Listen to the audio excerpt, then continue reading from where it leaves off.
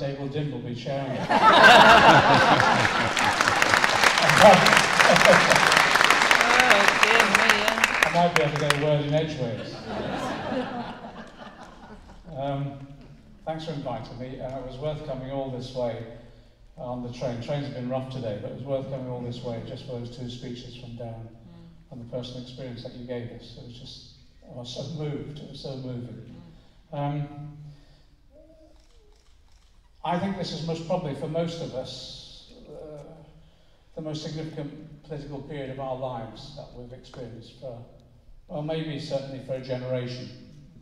Um, I'll tell you why. Some, uh, I have to be really careful. Jeremy's warned me about um, cracking jokes and, and um, my language, and I'm not allowed to throw any books about anymore. this thing about Mao's little red book, they said, they said, why did you, why did you throw the little red book at George Osborne? I said, well, the problem was Das Kapital was so heavy and there's so many volumes. um,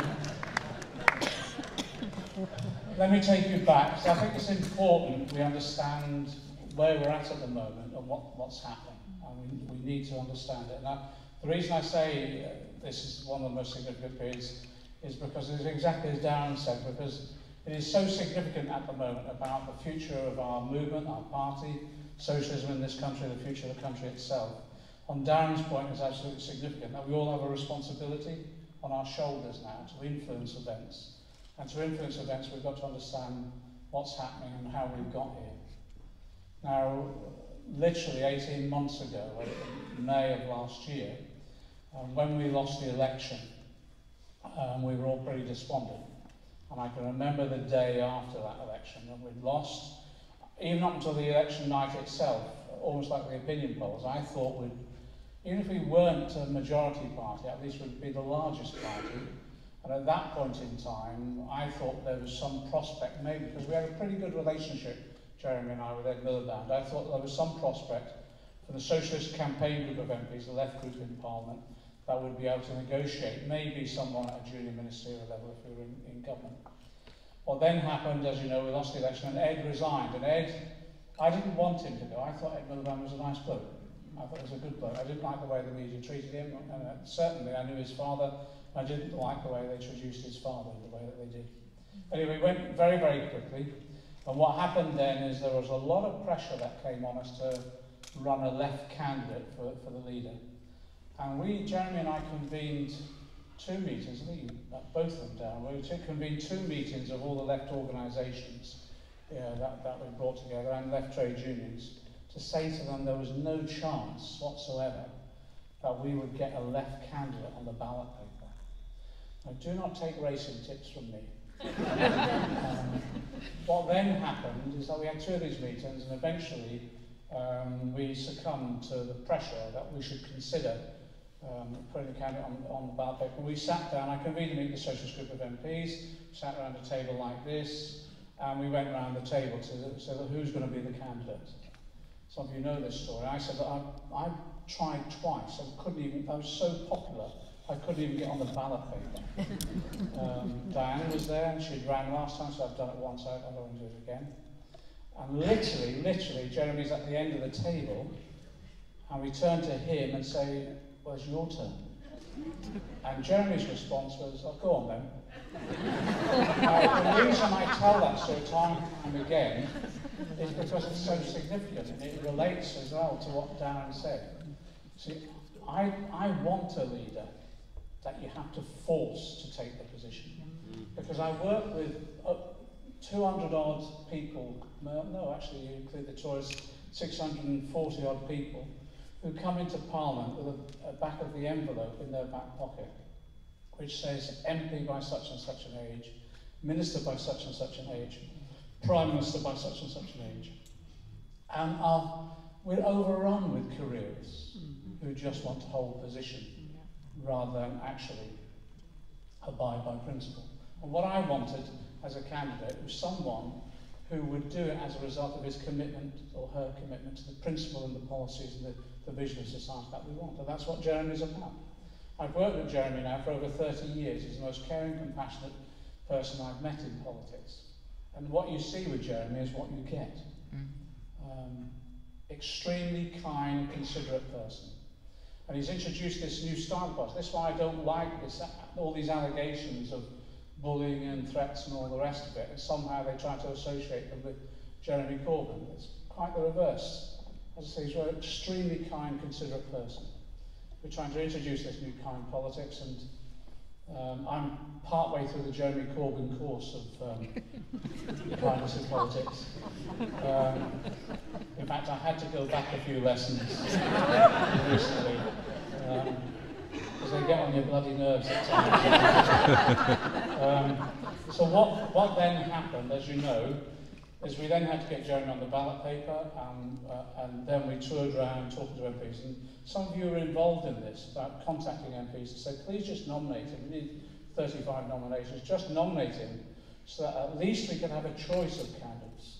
Because at that point in time I thought if we could get on the ballot paper we may be able to demonstrate maybe 20 or 25% support and then on that basis we could negotiate, even negotiate a left-winger into the shadow cabinet or something like that. We got, uh, we got a lot of you pressurising individual MPs, and we got to the uh, final day of the ballots itself, and we got to literally 10 minutes before ballots closed, and we were up to 30, we needed 35, we're up to 33. We've done a deal with five members of Parliament that if we got to up to 34, they'd nominate us onto the ballot paper. There were all sorts of deals done. Jeremy doesn't know about them. I didn't tell him. uh, offered to sleep with people. Didn't work. no one took the offer. Um, and we got, literally got within, uh, within a few minutes and uh, we had four of them standing there and they, a couple of them, we got to 33, not 34, and a couple of them cracked and said, okay, we'll nominate. And it was, it was um, Smith from Oxford and also um, the guy from Blackpool. Um, and again, I'll, I'll, I'll always be grateful to them because they, they gave us the opportunity of actually having the debate. So we started the debate. And Jeremy said, we'll, you know, what we'll do is we'll tour around the country together. And I said then, that Darren knows this, I said it, it would look like Last of Summer Wine on tour. we just did all that. Let's go out there, get you out there, put the ideas, and I think we'll be able to pick up a fair amount of support. But if nothing else, we may be able to bring in a new generation of activists committed to the, the policies that were advocated. And that's how it happened. It literally was just like that. Mm. And we started, I did the usual um, thing, we started, I chaired the campaign, we started booking halls around the country, not like this. I said the usual thing, book a hall where you've got no more than 100 chairs at best and make sure you can pull them away so that if only 25 turn up, you pull the chairs away you still look packed and move about we did our first meeting, that sort of thing, 500 people turned up. I thought there's something different here, something's happening. Jeremy did a speech, lots of um, engagement from, from the community and, and discussions, etc. And what was interesting, the people that turned up weren't existing Labour Party members, they were existing Labour Party members, trade unionists, and a large number of others, particularly young people, turning up. We then started booking halls of 500 and 1,000 turned up. 1,000, 2,000 turned up. It was extraordinary. And I, I, I joke about it, but it's true. One of them, there's a brilliant film in, the Bidborough Centre in Camden mm -hmm. where the hall's packed out with 2,000 people and in the street, it's, the street is packed. Matt Wrack from the FBU brought the fire, their fire engine there. Jeremy spoke from the fire engine. And there's a film of two youngsters breaking into the hall. When have you ever heard that? Young people breaking into a political meeting. It's just extraordinary. And what happened in the, those meetings shaped the political programme that, uh, that we discussed throughout that and that Jeremy put forward, also the political programme that we've been campaigning on ever since. And it was based upon, it's exactly as we heard today, it was based upon people's experiences. Because we had people turning up and saying, we haven't got a roof over our heads, or we can't afford the rent, or we can't afford the mortgage, and people turning up who've been evicted as well. So this is 2015. I represent a working class multicultural community on west of London near Heathrow. I've lived there for nearly 40 years now. Tonight, in my constituency, 200 families will be in bed and breakfast. I will, in my constituency tonight, there will be families, families who are living in sheds and garages rented to them. Beds in sheds. I will have overcrowding on a scale we've not seen since the Second World War. We've reinvented the back-to-back in my constituency, where the front of the house is rented to one family, the back is rented to another. Average rents in my constituency now are between 1,400 and 1,600 pounds a month. in the, in the, along the canal, there will be people sleeping. We have people sleeping in tents every now and again within our parks as well. Overcrowding on a scale that pushes the kids out onto the streets, and what then happens, they, they say that, you know, they condemn kids for joining gangs. The kids are on the streets and they join gangs because that's where they are. Mm. That's 2015 when we were discussing this, worse even in 2016. It's a scandal. And it's interesting, properties are being built on a huge scale in my area now, huge scale. A lot of them are cash bought. Two thirds are cash bought. They're bought by foreign investors. Yeah. Because they're valuable properties, even without renting them out, their value goes up in such a, on such a scale that they're worth that investment. It's a scandal. So when, when we discuss it, and I went through the same experience. I, I come from Liverpool, which I lost the accent when we moved south for work and all the rest of it. I was exactly the same. We, when I was a kid, we lived in a tenement. It sounds like Monty Python, this outside toilet and all the rest of it. But I remember the day when we moved out. And we moved, first of all, into a council prefab. And I remember when we moved into a council house, Parker Morris standards, me and my brother had our own bedroom for the first time, garden front and rear. And it was a day of celebration. Celebration. Families in my constituency can't celebrate anymore because we haven't built a council house for 30 years. Mm. So the solution that emerged from discussions like this was very straightforward. We will build houses again. And we will build council houses again. Mm. And we'll build them on a scale that we haven't seen for a generation. In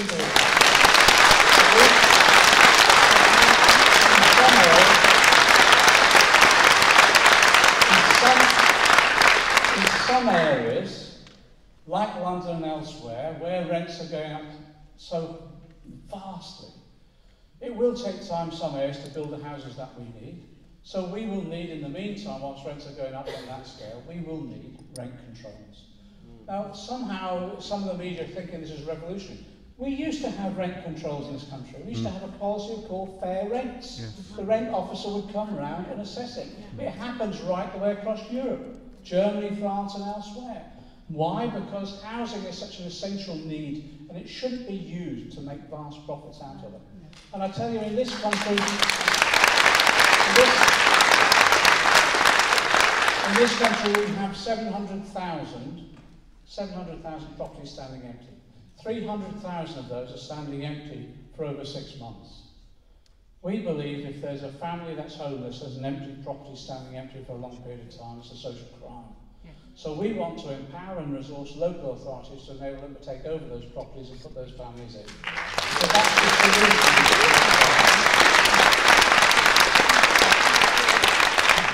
None of, the, none of the discussions that we had last year that we then translated into uh, policies were particularly revolutionary. We had, we had young people turn up who were Basically, large numbers of them, ambitious, wanting to go to university or go to apprenticeships, etc. They'd been cut back with the EMA being abolished, and some of them, their families were finding it significantly hard to keep them in education. But all of them came up, came to us with ambition. But a lot of the discussions that we had were some of the students who were, who were already students would say by the time they'd finished university, actually by the time of that they would have debts of anything between 30 or 50,000 pounds. Absolute scandal. The principle that we've always advocated as socialists, but also I think even even just progressive liberals, is that education isn't a commodity to be bought and sold. It's a gift from one generation to another. Yeah. So that's why, that's why That's why we're adamant, absolutely adamant, that in the life of the next Parliament, we will abolish tuition fees once and for all. Yeah.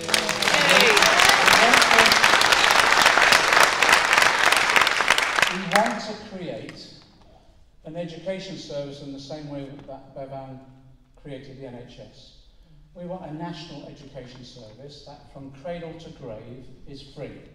So anyone can access it when it's free. Already we're developing the policies around free childcare, but also that opportunities that people have throughout education, yes, into higher education, but also the ability to get apprenticeships, but also people to be able to return to education to improve their quality of life throughout their period of life. We talk about an iron Bev, and I tell you, we've got a young woman who stepped into the shadow cabinet this time who was an absolute heroine. I don't know if you've seen her on TV yet. Mm. She's a young working class woman called Angela Rayner. Yes, yes. And she's taking them all on grammar schools, etc. That woman will be the Aneurin Bevan of our yes. next government because she'll take that policy into a national education. We had lots of people coming from the health service, we had lots of nurses, we had junior doctors and others coming onto the meetings themselves, and we had people who've also served on various bodies in the health service. And they explained, the, the workers in the health service explained the pressure that they were under as a result of privatisation and cutbacks that were going on. And we had a range of people with real expertise about what was happening as a result of the scale of creeping privatisation that was happening and the cost burden that was putting on people and how we'd seen in some areas the close of A&Es, the, ration, the rationalisation of the, the health service delivery, and what that meant for individual communities, particularly where there was geographical breadth, if you like, between those, those facilities. And it was as a result of chronic underfunding over a long period of time, but also it was as a result of the privatisation, the resources going in.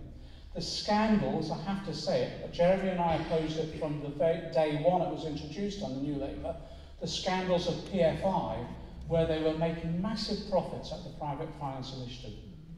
So we said very, very clearly, what's the solution? The solution is we will end all privatisation in the NHS. Yeah. We'll end it. We'll, we'll review all PFI schemes, and to be frank, on the PFI schemes that were signed up, some of them it's worth buying back and bringing them back in, mm. because in the long run it, it, it will be cheaper. It just went on like that. The meetings that we were having throughout that period. We had teachers turning up, talking about what the pressures they were under at the moment. We've lost 50,000 teachers in the last period as out of the education service. We can't fill training places for teachers at the moment. Hmm. Why? Because large numbers of people in that workforce are extremely demoralised because the pressures that they're under and the teaching to the test that they have to undertake yeah. with the league tables, the SATs and all the rest that, that are going on. And again, what we were trying to say to them is that the academisation processes that were taking place under the, under the Tories was actually a first step towards privatisation. Mm-hmm. So that's why we successfully defeated the Tories on their forced academisation legislation that, that they were putting through. not acknowledged by some within the Labour Party, but that was a significant victory for us. But we said very, very clearly what we need to do is make sure that we invest in education, that we actually we listen to the professionals themselves, and we, we develop it in a way in which, I suppose, you're developing kids to have a quality of life rather than just turn up and pass a particular exam on a particular day. And our big fear is that atmosphere of teaching to the test would encourage the Tories to do exactly as they're doing now, which is to bring forward back the old grammar school system, which was wasn't education, as we've said, it was segregation at the age of 11. We went on. Those are the sort of policies that came out of the discussions that we had. And I thought it was really invigorating because it was a really real discussion based upon people's real experiences of the world, how they felt, their ideas of how we should solve them. Jeremy, in the campaign, we put that together as a political programme. Interestingly enough, what came up time and time again was this issue about having confidence and belief in a Labour leader going back into power and committing themselves and, and implementing the policies that they've given and the promises that they'd undertaken. And part of that was around that lack of confidence in whatever a politician says at the moment. Now that's been within our society for quite a while, but lack of confidence and belief, particularly in Labour politicians, to be frank, yeah. significantly undermined by the Iraq War. Mm. Now, the reason I think people were so disillusioned about what happened in Iraq wasn't some emotional outburst or whatever, is because most people, I think, and the millions that marched, understood what was happening. That we'd linked ourselves to the most reactionary president that the US had seen for quite a long time, mm. and that literally we'd become almost a neo-colonial, a neo-colonial power, if you like, alongside them, taking over vast areas of the, of Middle East. For strategic gain, yes, but also ambitions, particularly the oil companies, for, for pecuniary gain as well. So one of the commitments that Jeremy gave, not just because of his history in campaigning against the war, but because of the reaction of people saying we've got to be, have faith in our politicians again, was that never again, never again will the Labour government take us into a military adventure in such an irresponsible way, which eventually results in half a million deaths. Um,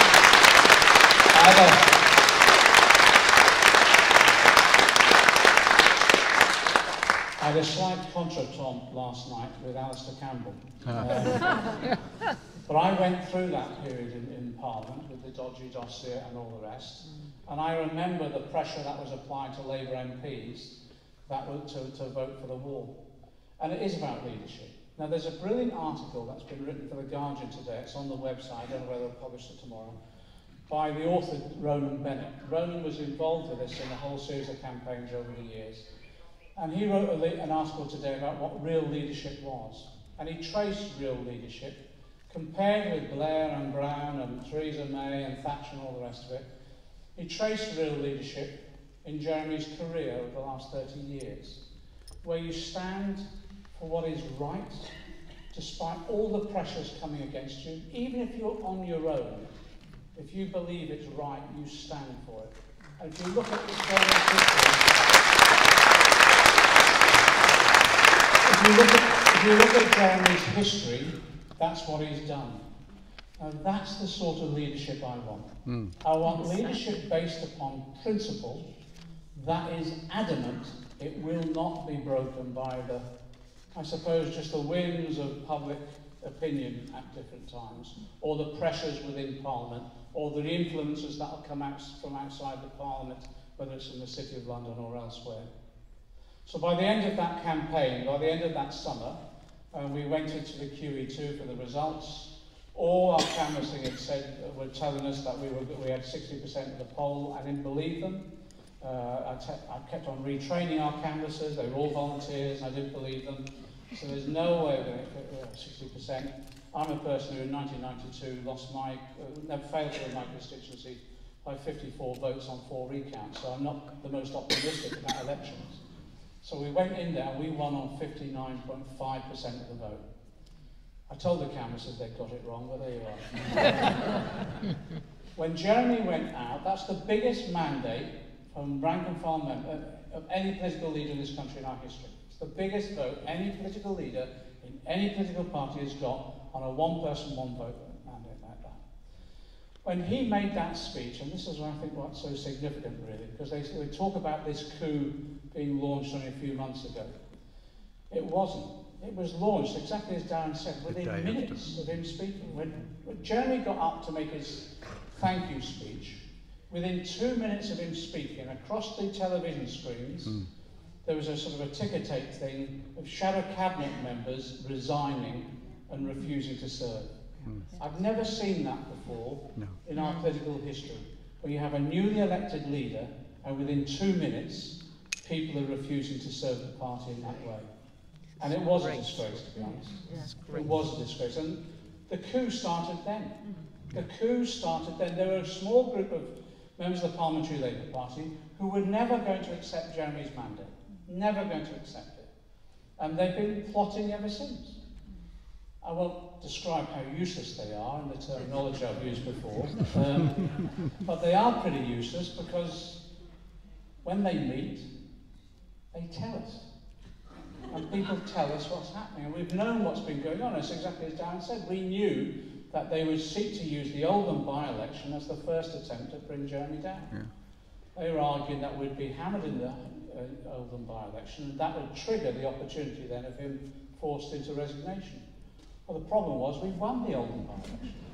And we won it significantly, and I think it's a real lesson. We won it on a really good local candidate, Jim McMahon plus the enthusiasm that Cor Jeremy Corbyn brought to the campaign. And so it was a combination of the sort of traditional Labour Party members with a good local candidate, plus all the new members that come in, and yes, momentum sending buses into the constituency, and we won a resounding victory. And actually, when Jim McMahon got up and thanked everyone for that, he thanked the Momentum members, he thanked Jeremy, and it was almost like an ideal type of how to win these elections. You combine the traditional party, the members that have been with us all those years, and congratulate them, but you bring in the new members, you enthuse the whole organisation, you get out there and campaign, you win. So the next opportunity they thought to uh, undermine Jeremy and get rid of him was the mayoral elections and local government elections. And again, they thought that we're going to lose those, and the coup will then occur, and Jeremy will be forced out. So we won. Every mayoral election, every mayoral election, we won. There was a lot of publicity around um, Sadiq Khan in London, which was great, and we mobilised on that because in London we, we've a huge mass membership now. But the victory for me that was the most significant, to be frank, was Marvin Rees in mm. Bristol a black man winning in Bristol, a city that was, whose wealth was based and built upon the slave trade. Mm-hmm. Now, for me, that showed just how far we'd come in terms of equality within our society, and just what a significant step that was forward. And beating an independent candidate as well, and putting him on the basis of a political platform which, to be frank, reflected Jeremy's campaign the previous six months before. In local government, they told us we were going to lose the councils. They had a whole list. They were being briefed. The media were being briefed by a small minority of the PLP about how many council seats would lose what councils themselves. We held on to every council. And we matched Ed Miliband's highest council performance ever throughout his period. And remember, his highest was when the recession was at its depths and the Tories were the most unpopular. And yet we matched that. So we again had the parliamentary by-elections. We won every parliamentary by-election. We increased our majority significantly three out of four. So the coup couldn't take place because we were winning. What then happened, we were told, is that the next attempt would be after the European referendum if it went wrong. And what happened from then on is that Jeremy was being set up by a number of them in case it did go wrong. Because already at the beginning of the campaign, they were already arguing that Jeremy was not sufficiently Europhile, etc. We sat down in September, soon after Jeremy was elected, with Hilary Benn and Angela Eagle, and we said, you can run the campaign if that's what you want, because they were quite insistent. But we said to them, if you run too much of a Europhile campaign without acknowledging some of the criticisms of the European Union and putting forward solutions, we will lose. Because our argument, yes, is you campaign for Remain, but also you campaign for reform. And on that basis, we felt we had a platform we could win on. But we also said if you do appear on platforms with the Tories, they will brand us as the establishment, just as they did in Scotland. Mm. And that's exactly what happened. And then they argue that Jeremy hadn't done enough.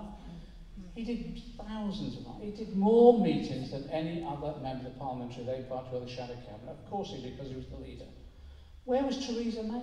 I never saw her in the campaign whatsoever. So in terms of, exactly as Sharon said, in terms of Nicola Sturgeon, we matched the SNP on the delivery of our vote. Anyway, what happened then is we, we lost it and I, we regretted it deeply about the, the loss. But what then happened on that Saturday was that we got word from the press, the Observer contacted us to say that Hilary Benn was phoning round urging members of the Shadow Cabinet to resign. So we knew the plot was happening, we knew the coup was happening. Jeremy tried to get hold of Hillary, didn't get hold of him until about midnight, tried to track him down. This is Jeremy Corbyn, it wouldn't have been me. Jeremy Corbyn said to him, withdraw the proposals, we'll make a joint statement, stay in the Shadow Cabinet.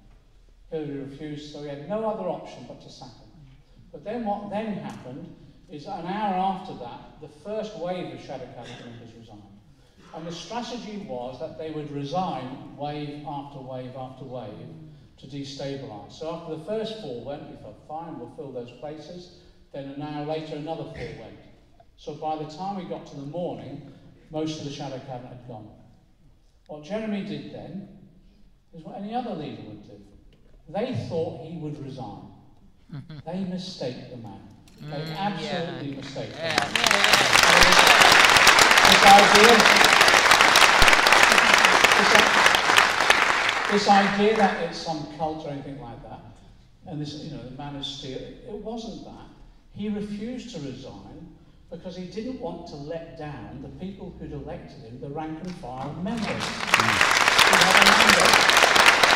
So it- what we did then is that we appointed a new shadow cabinet. I'm watching the train time, don't worry. He appointed a new shadow cabinet. And a lot of the youngsters came forward, the Angela Rayners, the Becky Long Baileys, the Richard Burgon, the Clive Burrs, the Cat Smiths. And I tell you, they're the heroes and heroines of our Yeah, they are. Yes. And they've done, and they've done, a, they've done a brilliant job. They've done a brilliant job. They're bright young things. Richard Berg and all that, they're absolutely bright young things. They've done a brilliant job. Becky Long Bailey is my number two. She's now chief secretary. She took over in the middle of the finance bill, the most complicated bill in parliamentary histories these are. She took over in the middle.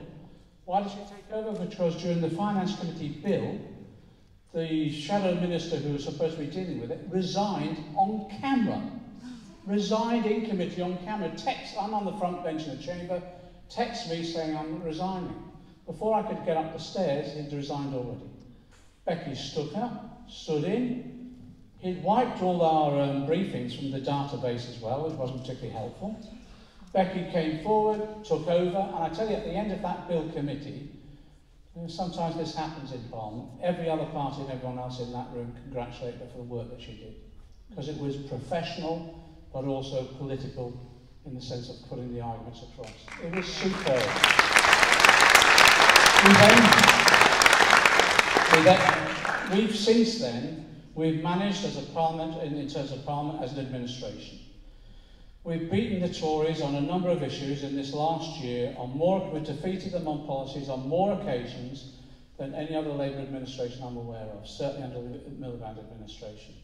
You know, PIP, the cuts for disabled people, tax credits. The issues around the trade union bill would push them back on that. And yes, we've been able to, we've not been able to debate them in the Commons that often. We've been able to soften them up in the Commons and then liaise with our colleagues in the House of Lords. It's a bit ironic for me because I've been trying to abolish the place for 30 years. I think we do need a second chair. But we've, even in parliamentary terms, it isn't, it isn't just that we've won the elections. It isn't just that Jeremy's shown a different type of leadership. But even in parliamentary terms, we've been winning. And that's the tragedy at the moment. Mm. That's the absolute tragedy. This mm. leadership election was completely unnecessary. Yes. Absolutely. And, and the irony of it was, it was triggered at a parliamentary Labour Party meeting where people are getting up to say to Jeremy, well, I agree with your policies, you're a nice bloke, you're not a leader, you, we can't win elections with you. The irony of it was, at that parliamentary Labour Party meeting, item number one on the agenda was to welcome the candidate for Tooting who's tripled her, her majority in winning a by-election. Mm. It was just bizarre. So where we're at now is we've, you know, we've, they've triggered the leadership election, we've got a few days to go. Throughout the campaign, Jeremy's been his, his usual self, he's toured all around the country. We think he's spoken to this summer maybe about 90,000 people. It's unbelievable. Mm-hmm. We've got an electoral cap on how much we can spend, so a lot of the meetings that have been done have been in the open air. Some of you have seen the f- films in Liverpool, the Sound Centre completely closed down by people there. Ramsgate the other day, on the beach, 2,000 people. The only thing that shut him up was the tide coming in. Phenomenal what's happened. And why is that? Why is that? I think there's a number of reasons. Hmm. One, last year he won because people wanted hope and they wanted change. They'd had enough of us going along with neoliberal economics. They'd had enough of us adopting austerity-like policies. They'd re people realised that if we're going to tackle the real issues facing our community, particularly working class people, we need socialist policies that will invest in the long term in our public services, that will introduce a fair taxation system, that will enable us to tackle some of the longer term issues like climate change that we face. And people are inspired by that.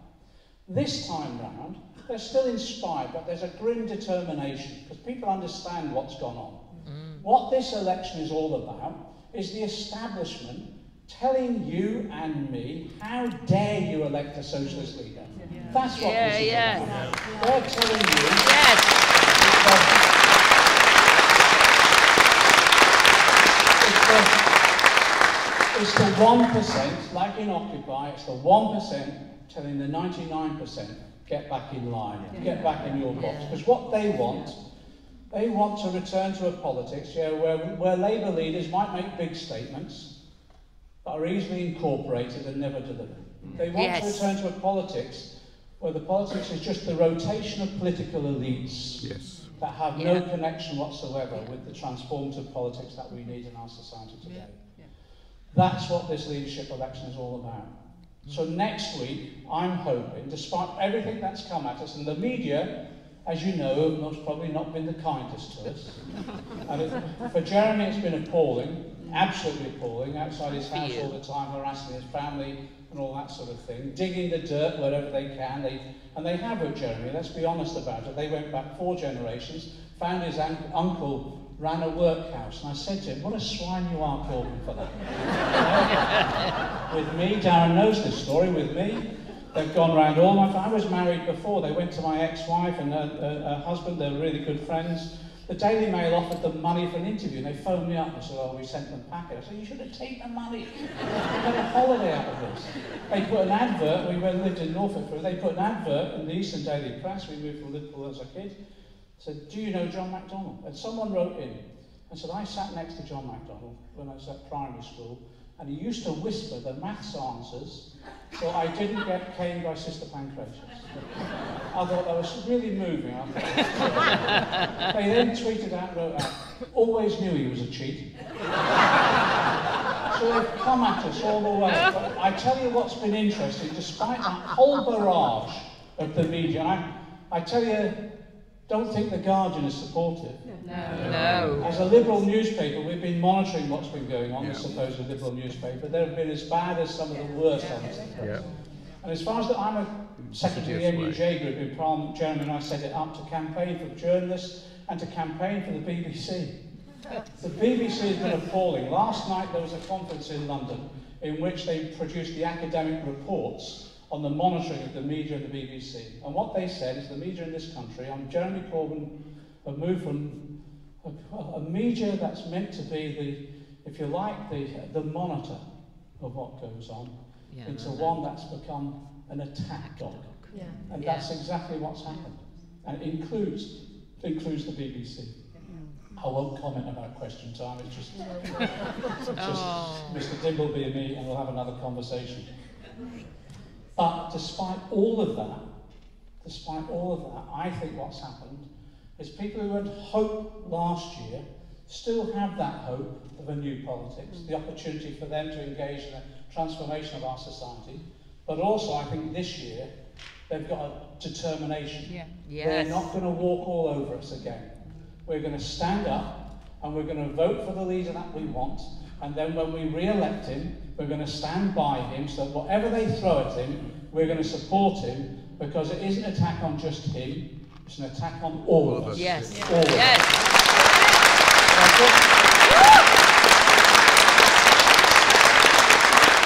When we, I'm, hope, I'm hoping, I'm hoping that Jeremy gets a bigger mandate next year. Yes. Ooh. Now, I think the vast majority of the Parliamentary Labour Party just want to get on with the job. I'm hoping for that. There's arguments about shadow cabinet elections, etc., and we know that some of them want to use those to ensure that they surround Jeremy and try to control him as a result of if he, if he does win. There might be um, some ambition to get rid of me. You never know on these things, do you? But we're saying to them in terms of shadow cabinet elections, let's, let's talk about that. Let's not, you know, it's not, elections are not a bad thing, they're a good thing. But let's talk about that, whether or not the shadow cabinet should be broader, whether or not the shadow cabinet should have elections for some, not all. Who elects the shadow cabinet? Yeah. What about the members elected? to the shadow Yes. and that way, we want, we want to open up the discussions to bring people back together again. And I think we can. I think we can. But we have to have a spirit of comradeship to do that.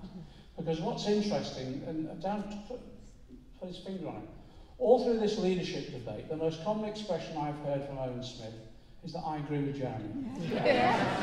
because there doesn't seem to be anything by way of poli- real policies or politics that distinguishes us.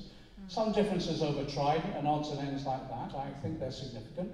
But on most policy areas, we're at one. There's been no challenge hmm. to the changes that we've made over the last 12 months. Because I think they recognise Those policies are tackling the real world issues in their constituencies that desperately needed. But in addition to that, will get them re-elected at the next general election. Yeah. So we're hoping now that Jeremy gets re-elected with a stronger mandate, that we come together in unity, and that actually then we work on a system whereby we develop the policies, the campaigning mechanisms that enables us to win the next election whenever it comes.